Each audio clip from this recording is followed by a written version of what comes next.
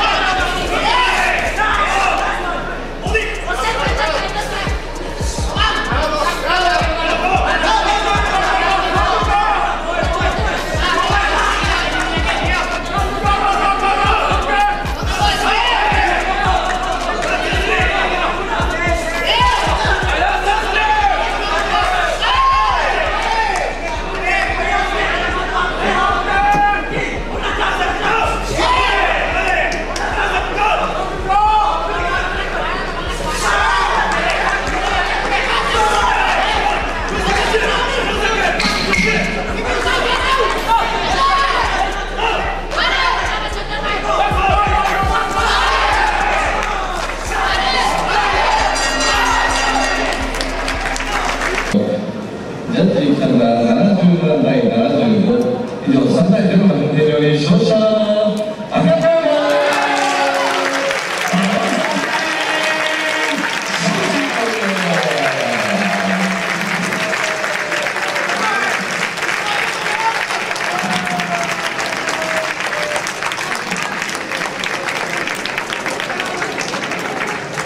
dito na lang muna ang ating video ngayon mga boss.